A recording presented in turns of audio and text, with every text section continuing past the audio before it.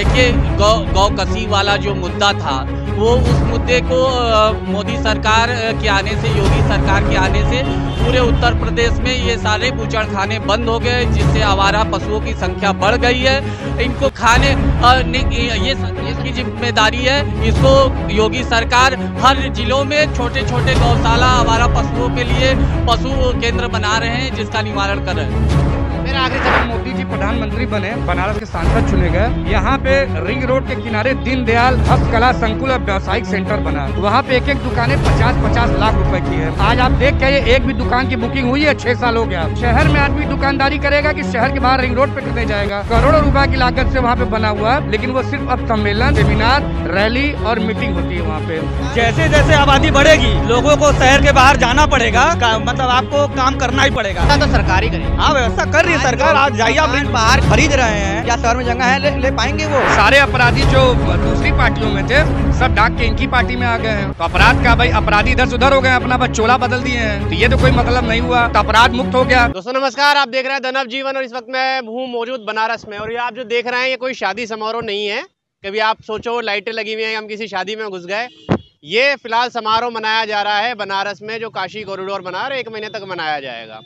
बहरहाल, पहले भी मैं यहाँ आ चुका हूँ। कुछ लोग मेरे साथ नए मौजूद हैं, कुछ लोग वही पुराने हैं जिनको आप पहले देख चुके हैं बनारस की। जब हम आए थे, अधिवक्ता थे, इनसे हमने बात करी थी।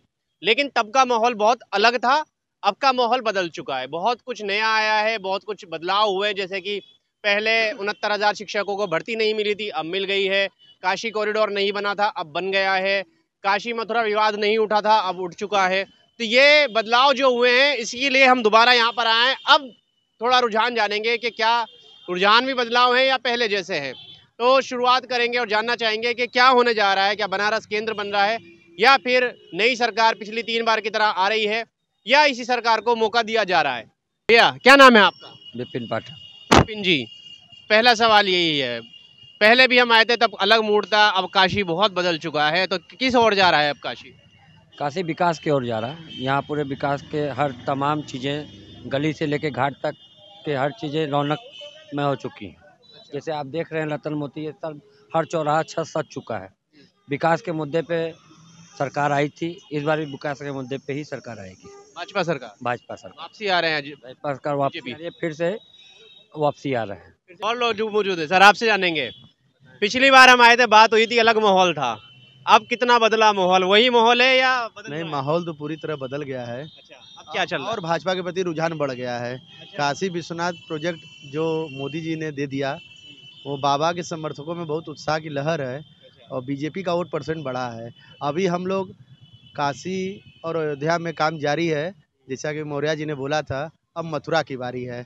अब हमारा अगला टारगेट मथुरा मंदिर होगा। भगवान श्री कृष्ण जो हम हिंदुओं के आराध्य तो हैं। बीजेपी बैकफुट पर आई है उस पर अभी। बीजेपी आई है केशव प्रसाद मौर्य उसको अपने टारगेट में और जनता जनता के रुख को मोदी जी बहुत उनसे बढ़िया कोई प्रधानमंत्री जनता के रुख को नहीं समझता है। और वो जान रहे हैं कि भगवान श्री कृष्ण हम लोग के आराध्य हैं। अब हम लोग श्री कृष्ण के मंदिर के लिए कानूनी और राजनीतिक जो लड़ाई लड़नी होगी वो भाजपा के साथ कंधे से कंधा मिला के लड़ेंगे। कॉरिडोर बनने के बाद रुख बदल गया। रुख बदल गया है। है। हाँ। ठीक है। सर आपसे जानेंगे कैसा माहौल है? मैं देवेंद्र सिंह परमार एडवोकेट उपाध्यक्ष दी सेंट्रल बार एसोसिएशन अब बताइए क्या पूछ रहे हैं। परिचय आपका हो गया। हालाँकि हमारे दर्शक आपको पहले ही बहुत पसंद कर चुके हैं। पहले जब हम आए थे बहुत वीडियो आपकी वायरल हुई थी। तब बड़े नाराज़ थे आप सरकार से। अब भी नाराज़गी है या सरकार जो है काशी विश्वनाथ कॉरिडोर बनाकर युवाओं का बुज़ुर्गों का और सभी काशी वासियों का दिल जीत लिया है। और काशी में बहुत विकास हो रहा है। भाजपा सरकार अच्छा काम कर रहा है। सरकार अच्छा काम कर रही है। अच्छा काशी बन गया इससे रुझान बदला है या कुछ नया कुछ दिया है इस वजह से? काशी विश्वनाथ कॉरिडोर जो है वो बनारस वासियों के लिए बहुत ज़रूरी था। हम लोग बाबा विश्वनाथ के नगरी में रहते हैं और उनसे बहुत प्यार करते हैं। और विश्वनाथ कॉरिडोर बनने की वजह से पूरे बनारस वासियों में खुशी की लहर दौड़ गई। तो क्या लग रहा है रुझान अब एक तरफ़ से जा रहा है या अभी फाइट है? भाजपा जो है इस बार सरकार बना रही है। जहाँ तक जनता का रुझान है। लेते हैं सर आप बताइए क्या नाम है आपका? संजय मिश्रा नाम है मेरा। संजय मिश्रा जी तो मिश्रा जी कैसा माहौल है बनारस का? देखिए बनारस के माहौल की बात करेंगे तो बनारस का माहौल तो शुरू से ही भाजपा का माहौल रहा है चूँकि धर्म अध्ययन और संस्कृति की नगरी रही है। तो और भारतीय राजनीति में धर्म हमेशा सॉफ्ट टारगेट रहा है। शुरू से ही कहा गया है कि जब जनता अपने कामों का हिसाब मांगे तो उसको धर्म में उलझा दो। तो बीजेपी इस चीज़ को अच्छी तरह से जानती है। उसको लगा कि हम रोजी, रोटी, रोज़गार, ये तो नहीं दे पा रहे हैं। तो वो धर्म का आड़ लेके जो है, ये कॉरिडोर, मंदिर, ये सारी चीज़ें जो है तो ये मूल मुद्दे जो हैं, हमको क्या चाहिए भाई? रोजी चाहिए, रोज़गार चाहिए। बड़ी बड़ी सड़कें तो बन रही है। फोर लेन बन रहे हैं, सिक्स लेन बन रहे हैं। सड़कें तो बन रही हैं, लेकिन लोग सड़क पे आ गए हैं। लोग सड़क पर समस्या सड़कें बन गई गरीबी और जो नौकरियों की बात कही गई थी यहाँ तो हमको लगता है कि पिछले दो सालों में साढ़े तीन करोड़ नौकरियाँ जो है वो कम हो गई।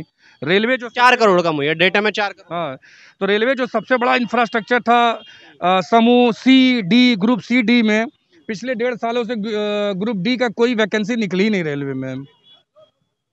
सरकार तो कह ही रही है भाई अब तो हम तो सब प्राइवेट करेंगे। सरकारी को छोड़ेंगे ही नहीं चार सेक्शन छोड़ के मोदी जी कह रहे हैं। मेन यही है ना कि हमने आपको क्या कहा कि धर्म एक सॉफ्ट टारगेट है।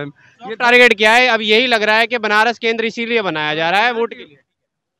आपसे यही बताइए यही सवाल है कि भाई धर्म के नाम पर मुद्दे मूल मुद्दे भूल रहे हैं।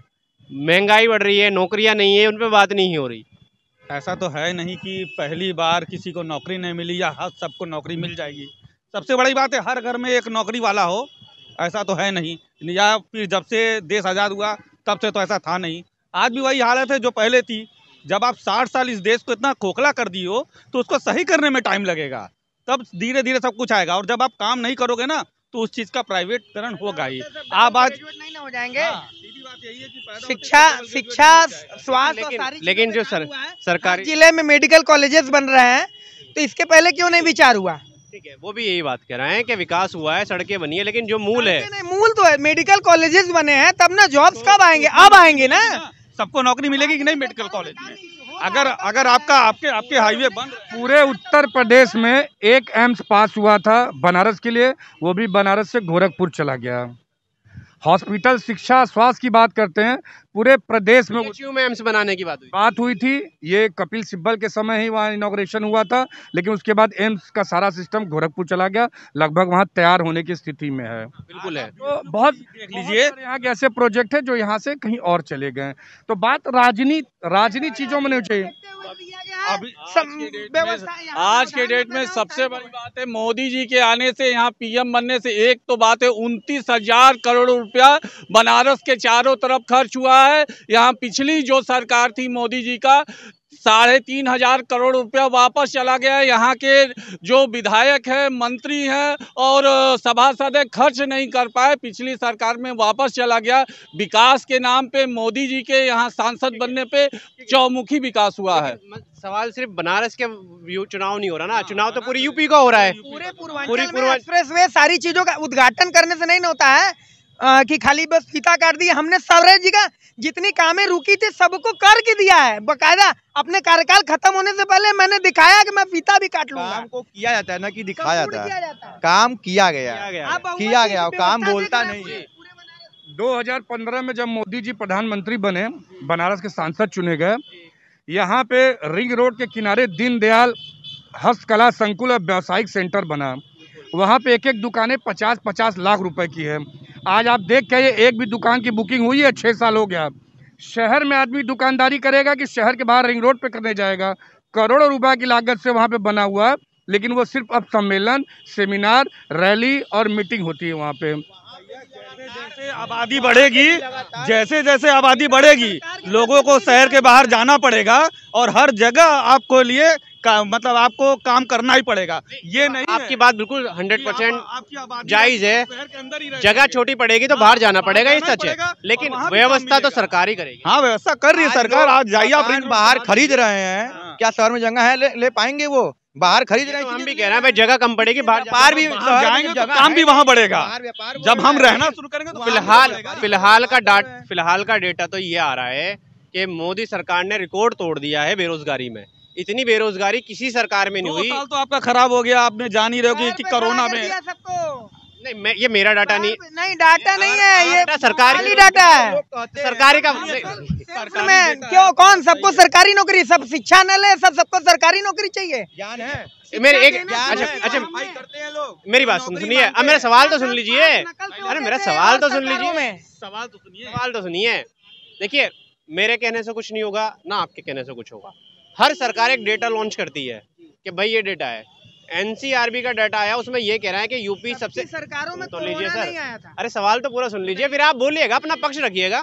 मेरा सवाल ये है कि एनसीआरबी के डेटा में ये कहा गया है कि यूपी की स्थिति सबसे ज़्यादा खराब है। NCR और ये स्थिति पहले से ही कोरोना के पहले से ही आनी शुरू हो गई थी। तो कहीं ना कहीं भाई ये डाटा अगर ये कह रहा है तो ये दिखा रहा है कि हाँ भाई सरकार का कहीं ना कहीं फेलियर है किसी रीजन से फेलियर है।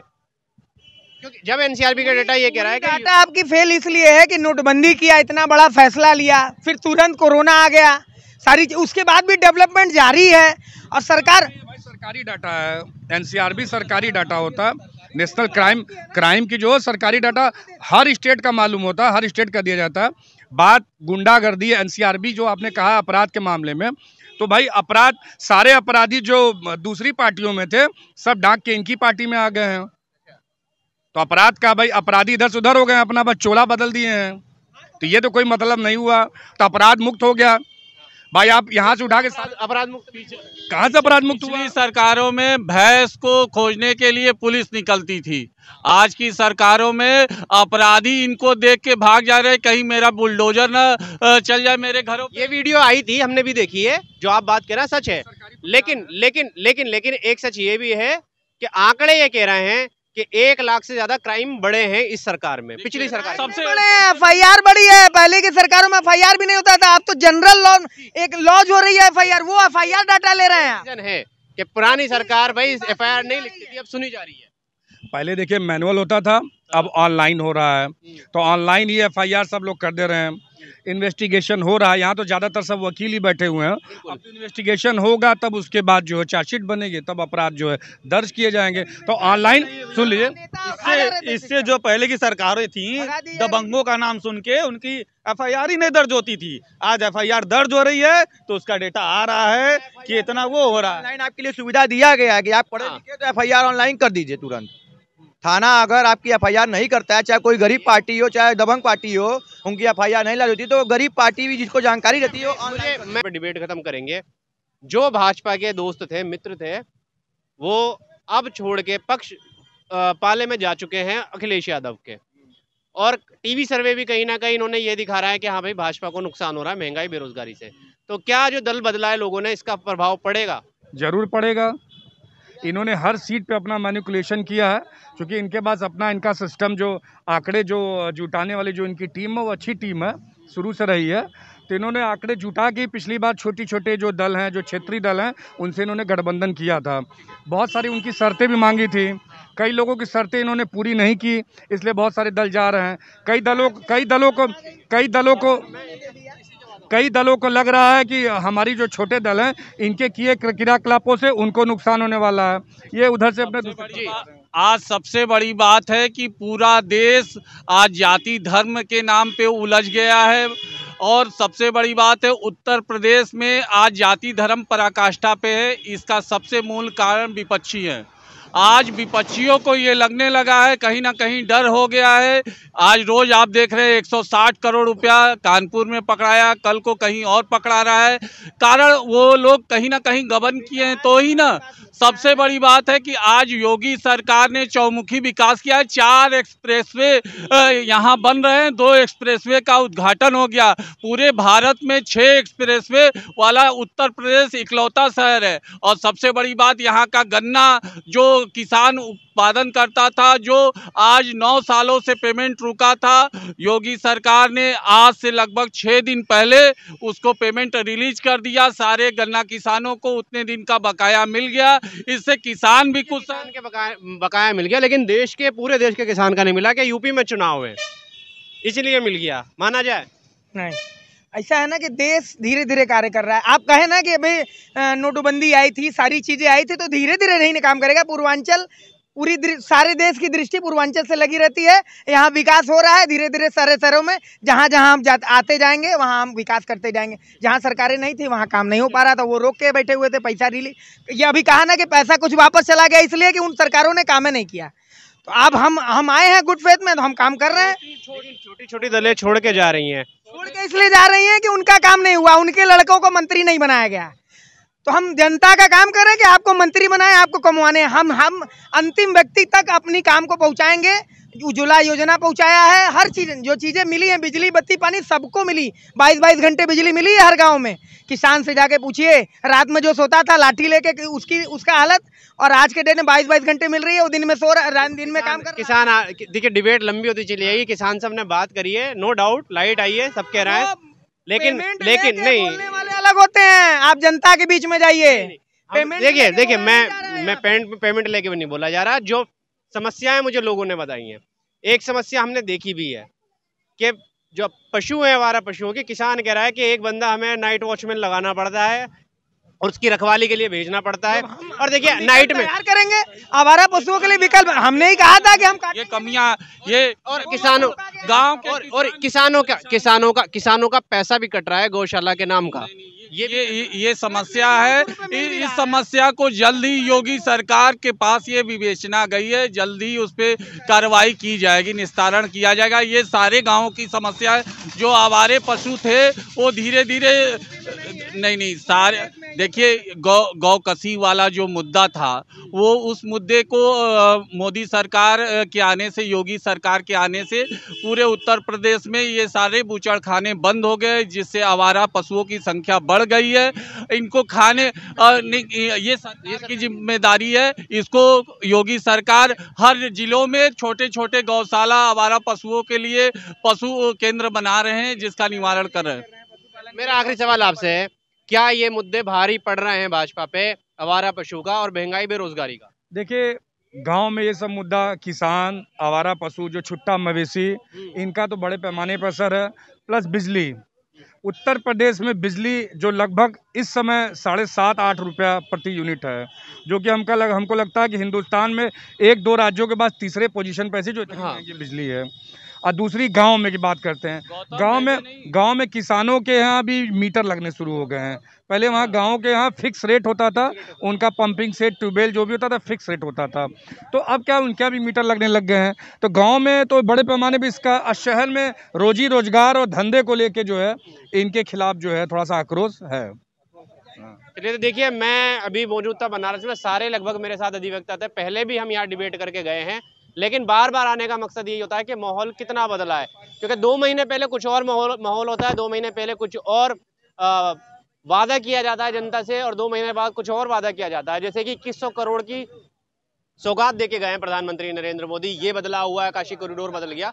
तो इनका प्रभाव कितना पड़ता है? इसीलिए बार बार आके दोबारा राय जाननी ज़रूर होती है क्या वाकई में जनता का मन बदला या वही है। खैर हर वीडियो में कहता हूँ मैं एक बात शायद आपको भी अगर पूरी देखते हो उन तक तो सुनाई देती हो। होगा क्या? ये चुनाव से पहले कुछ भी कहना बेवकूफ़ी होती है। जब तक चुनाव ना हो जाए, उसका रिज़ल्ट ना आ जाए। तभी पता लगेगा जब चुनाव का रिज़ल्ट आ जाएगा कि एक्चुअल में जनता ने किसको समझा है, किसको समर्थन दिया है। आप उसके लिए इंतज़ार करें, लगातार जुड़े रहें हमारे साथ। चैनल को सब्सक्राइब करें, वीडियो को लाइक करें और शेयर करें।